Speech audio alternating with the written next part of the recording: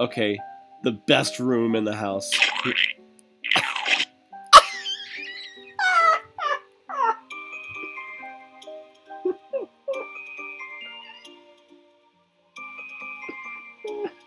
I love it.